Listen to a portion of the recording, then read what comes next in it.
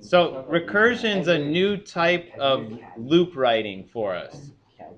If you think back, we first learned about the while loop, then we learned about the for loop, which is basically a while loop, but it included a built-in initializing expression and step expression.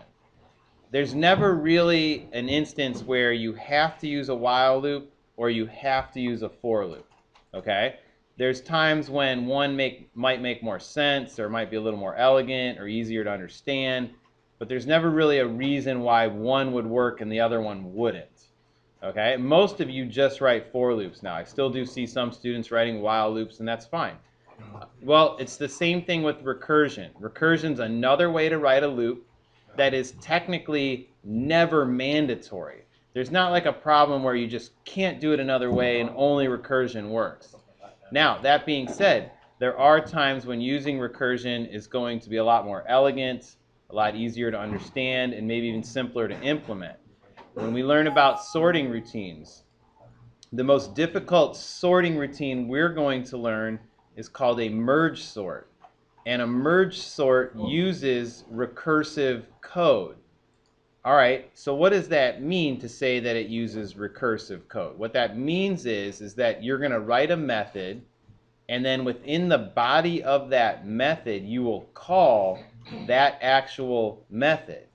That creates a loop because this loop will have to resolve itself at some point, or else it would just go on forever and ever. If a if a the body of a method calls its own method, it's just going to create an endless circle unless there is a way to get out of there. And we're going to learn about all that stuff. But that's where the looping process comes in.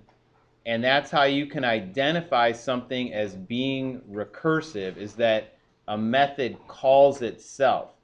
This is different than like what we learned in inheritance when you have polymorphism and you can jump from a subclass to a superclass where they have same method names. This is a little different. We're talking about one single method calling itself.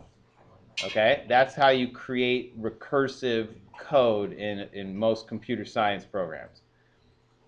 All right, and like I said, there's never really a reason you absolutely need recursive code, but sometimes it's easier to write, like the merge sort, and we're going to learn about the merge sort, so we need to sort of understand recursion. Uh, you're probably going to see two to three to four recursive problems on the, on the multiple choice AP test. So they like to give you a recursive method, have you read it, and then say what it's going to do. Like what is it going to print? That's a typical question. And usually there's two or three or four of them. And we'll look at some of the re released problems, okay? All right, so let's, let's take a look. Like they said here, the classic factorial problem let's let's revisit a problem that we wrote together previously. So uh, I've got just a basic tester class here. I've gone ahead and imported system, public class tester. I've got a main method. And then all I'm doing in my main method is I'm making three method calls. So I'm calling factorial First, I'm giving it the value of 5, and then 6, and then 3. And with what you've learned about factorials from middle school or Algebra 1, Algebra 2, wherever you learn this, if you want to know what factorial 5 is, the way I was taught, you start with 5, and you keep multiplying by one less number until you reach 1, and then you find that total product, that's your factorial. So 5 factorial should be 120, 6 factorial 720, and so on. Way back when, probably September or October, when we first learned about loops, I'm sure I made you guys write a program just like this. We probably weren't writing it with a method back then, but it's the same idea. Okay, so here's my factorial method. I'm going to give the method an integer, and it's going to give me back an integer, which is going to represent the factorial. All right, and to do this, I just made a, a variable where I could keep that running product. I called it fact. I initialized it to 1. Now, I wrote a backwards for loop. Is that required to go backwards? No. It just made a little more sense to me because, like I said, when I learned factorials, probably in middle school, I was kind of taught you start with the number and work your way back to 1. You could multiply 1 to 5, it wouldn't matter, you get the same answer. This is just a little bit more representative of the way I learned it. Okay? Every time through, I multiplied the existing factorial by the new number produced by the loop, and then I got my answer. I hope if I put this on a test, you guys could write that code. I, I don't know. Okay, that would be my, my hope. I've still seen a big issue on tests and quizzes, by the way, where a lot of students are initializing a variable, sorry, they're declaring a variable, but failing to initialize it before they use it. You got to remember, that's going to result in an immediate compile error. You can't simply declare a variable and go on to use it or return it. You must give that variable a value, especially if you're only using it in a for loop where it might not ever get used. So often I see students want to initialize every number to zero. It works a lot of the time, but it doesn't work every time. So we've seen, you know, other cases where here's a, here's a case where initializing to zero would be like a really bad mistake because if you, once you multiply by zero, you got zero. You're stuck. Like it doesn't matter if you could multiply by a million, it's still zero. Okay, so here's a case where we want to use what we call the multiplicative identity, which is one. Okay, so a little careful here. Yeah. Does uh, fact times equal work? Yeah.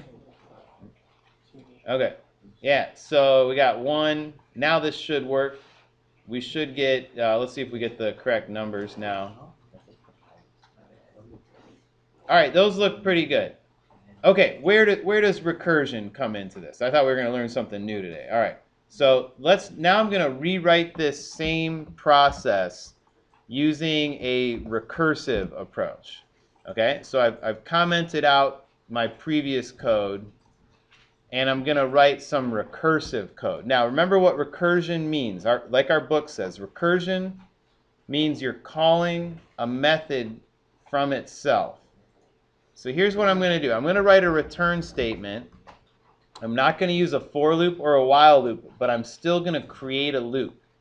And what I'm going to return is num, that's my parameter that gets passed in, times I'm going to call the factorial method. Okay, I'm going to call the factorial method and I'm going to give it the next number that I want an answer to. Now let's just pause for a second and imagine what, what is this going to do? Like what sort of chain of events is this going to create?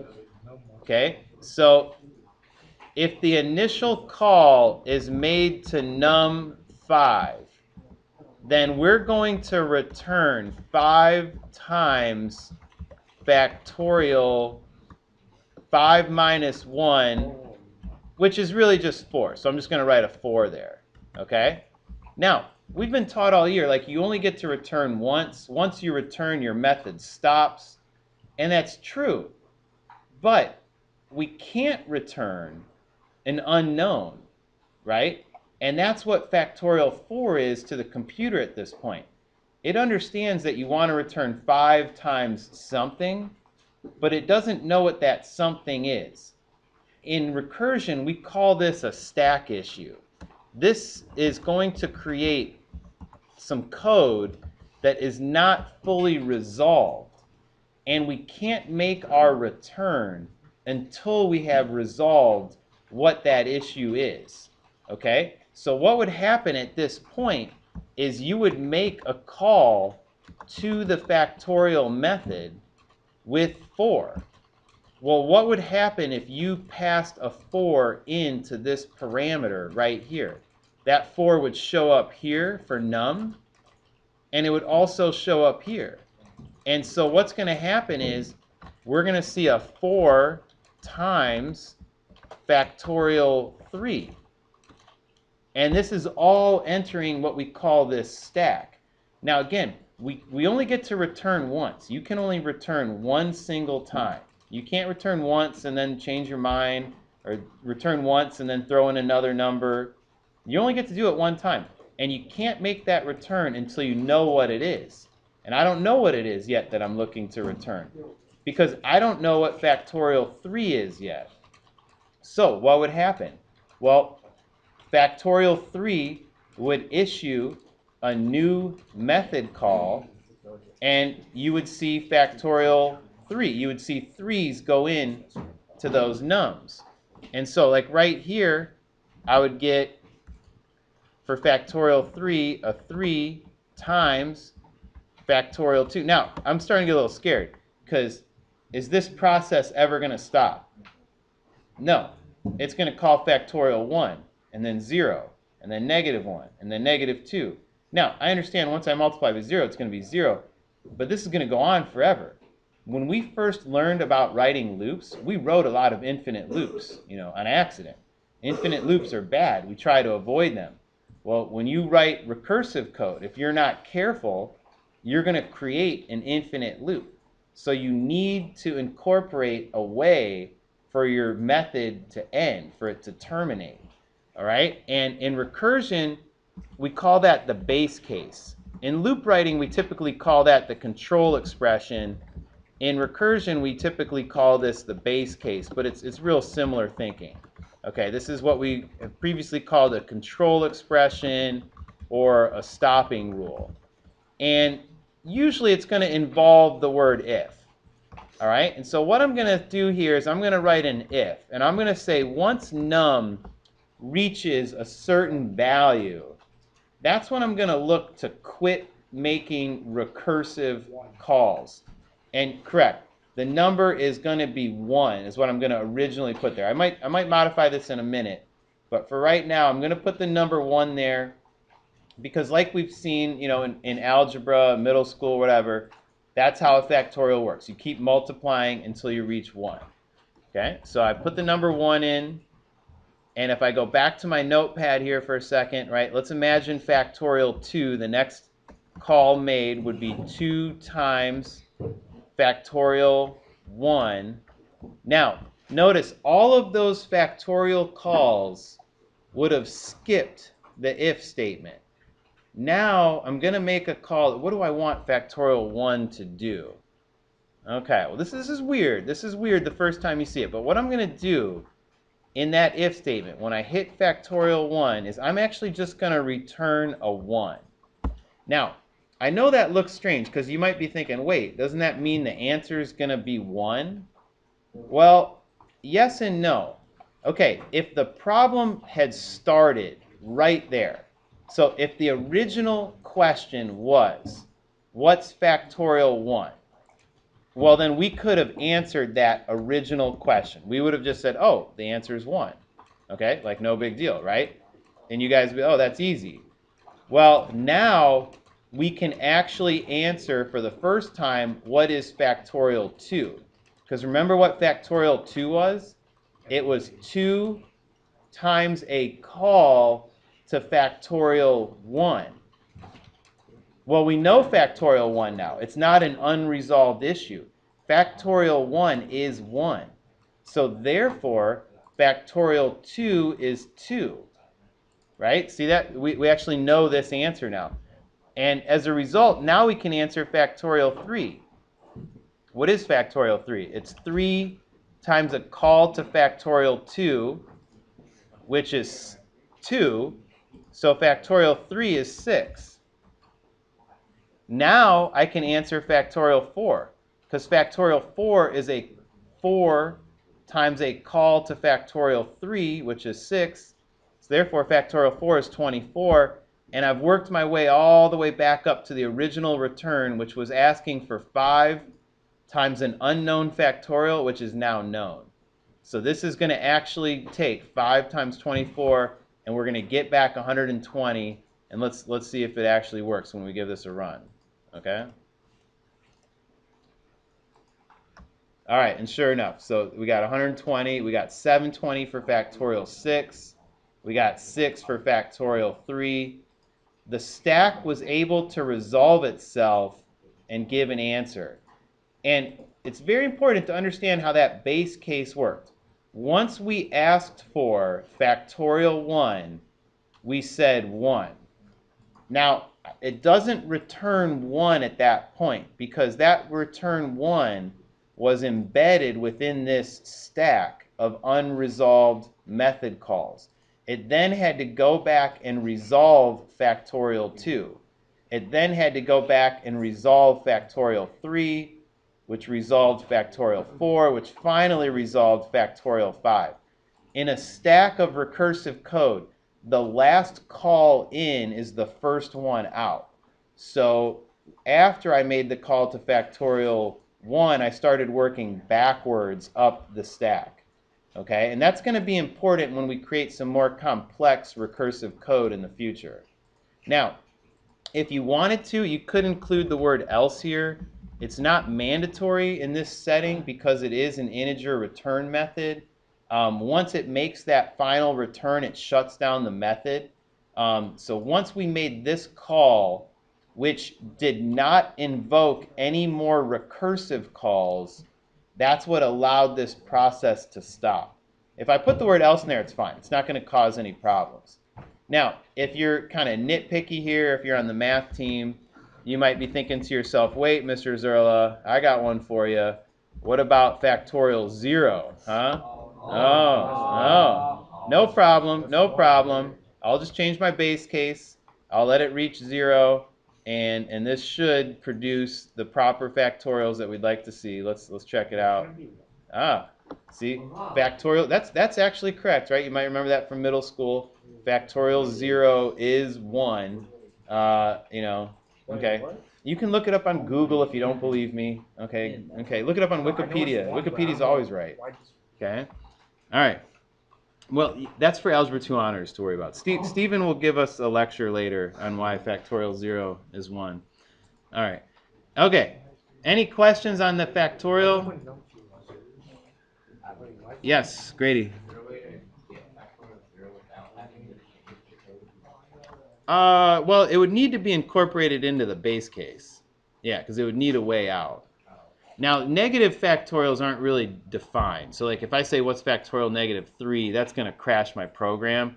But it's also not a real meaningful value to begin. And I, I could adjust this to avoid it from crashing, but there really isn't a, a sensical return there.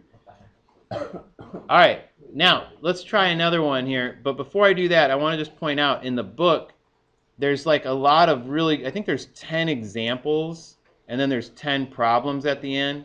So like if you look, let's look at this one here, adder 7. Okay, and let me, let me bring back the notepad for a second. All right, so if we were going to try this one here, adder 7. So what would happen is, is you'd make a call to adder 7, and that would open up a recursive sequence because 7 is not less than 0. So what, it, what would you'd have to go to the else statement. You'd return 7 plus adder, oops, whoa, let me try that again. Adder 7 equals 7 plus adder 5. Now, I know it's confusing because we usually think once you make a return, it's like immediate. You just give your answer. But that's not actually true here because you can't return an unknown quantity. So before you can make your return, you have to address the fact of what is adder 5. Okay, adder 5 actually sends out a new call and it says give me 5 plus adder 3. That sends out a new method call. That says give me 3 plus adder 1. Now notice how none of these method calls have hit that base case yet. To hit the base case, you need a number that's less than or equal to 0. So I've skipped the if statement every time and gone straight to the else. Well, once you make a call to adder 1, okay, now something a little different is going to happen. You're going to say give me 1 plus adder negative 1. Now, adder negative 1. Let's imagine that the problem started right there. If I put that code on the test and I say system out print adder negative 1, th- there's not really even any recursion to take place.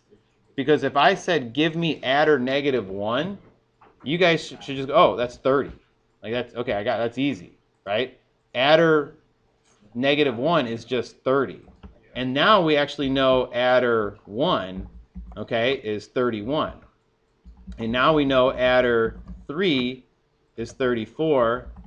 And now we know adder 5 is 39. And now we've got our answer, 46. And so for the first time, we can actually make that return. I know we want to return right away, but if we start opening up more unknowns, we have to resolve them before we can make that return. So you can't make a return until you know everything. Now you're ready. This would print 46. Okay? There's a lot of good examples in the book, and the author does a good job explaining them. So I, I encourage you to read through them. Now, we've only got a half hour today, so I'm not going to get to what we call a stack issue, and I'm going to have to get to that tomorrow. So you might want to skip a few questions in the homework tonight, like seven, or I think it's, I think it's six, eight, and nine. Let me let me double check. Yeah, you might want to skip six, eight, and nine, unless you want to read about it on your own. But I'll, I'll explain that to tomorrow as best I can. All right, let's. We're gonna do another one here together though. Let's try this. So I'm gonna say out.print ln. I'm gonna make a method. I'm just gonna call it uh, mm for mystery method, and I'm gonna pass it a six. Okay, and then let's write mystery method here mm together. It's supposed to be kind of scary. Okay, so mystery method.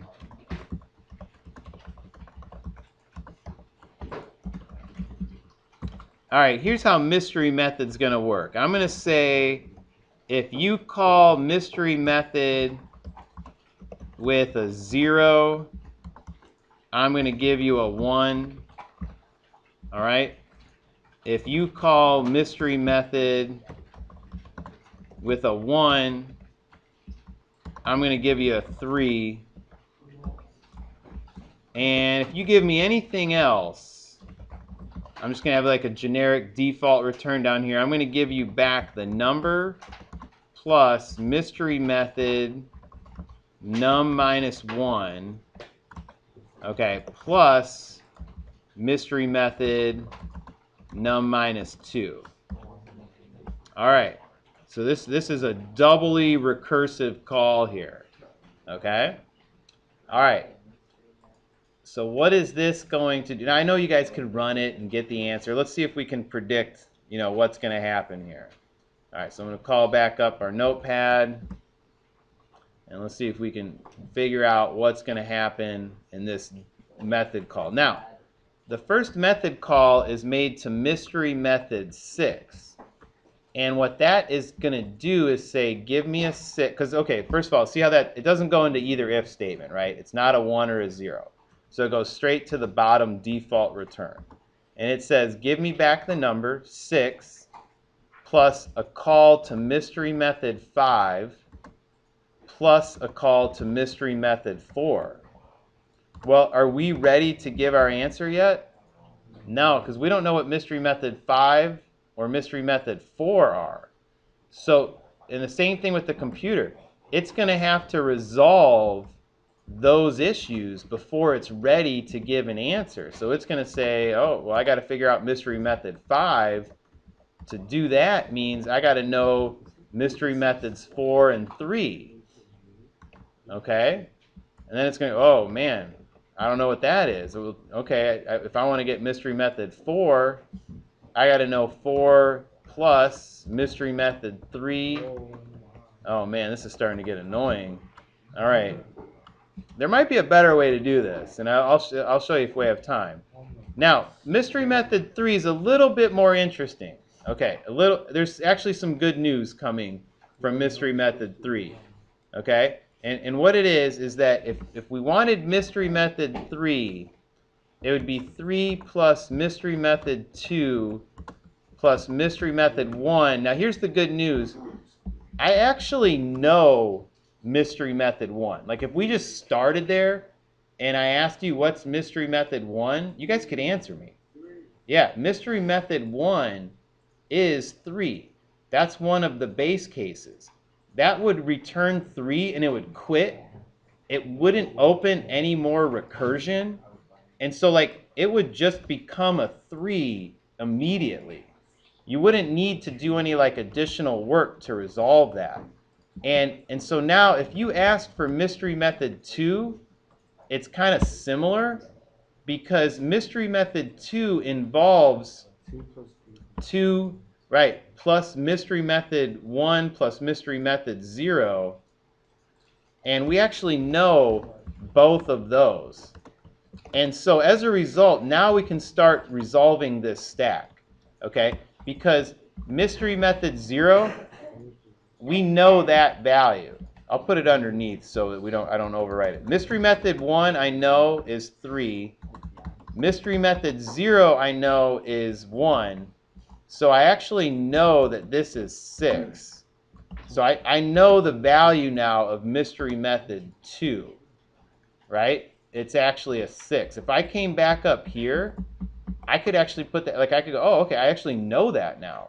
Mystery method 2 is 6. So therefore, mystery method 3 is 12. And I could see how I, I could, remember, you resolve your stacks in reverse. This is a 12. This isn't actually the full truth. The, the 3 would, the, the right-left issue would kind of show up too if we were doing like a merge sort. I'll have to show you guys that another day. All right, this would be 22. I'm probably going to make a mistake before I'm done here. So if I make a mistake, try to catch me. This is 22. I made a mistake in zero period, but I don't have my coffee before I meet them. It's not fair. Uh, this is 39. Okay, so this is 39. Mystery method 4 is 22. Oh, so I think we got it now. What do we got? 61 and 6, 67. I, I don't know. Is there any way that that's right? Let's. Oh, well, we can find out. Let's run it. We'll see. Yeah, it is 67. It is. Now, I think there's a better way to do that problem. Personally, like like if I was going to do that problem, instead of working backwards to the base cases, I think I would actually start the problem at the base cases and work forward. So if I actually said mystery method 0, okay, is 1, mystery method two, uh, 1 is 3, I could figure out mystery method 2 pretty easily because it's 2 plus the previous two values, right? And now if I wanted mystery method 3, it's 3 plus the two previous terms. You guys probably did stuff like this in Algebra 2, like in a recursion sequence building. So now, like, if you wanted term 4, it's 4 plus the two previous terms. Okay, so 22. And if you wanted 5, it's uh, 5 plus the two previous terms. And we're almost there. I know. Okay, 39. And now if you wanted mystery method 6, it's 6 plus the two previous terms. And Anyway, we're going to get the same answer. So I, to me, that's probably what I would do. If I saw a doubly recursive sequence, I'd probably go forward instead of backward. Oh,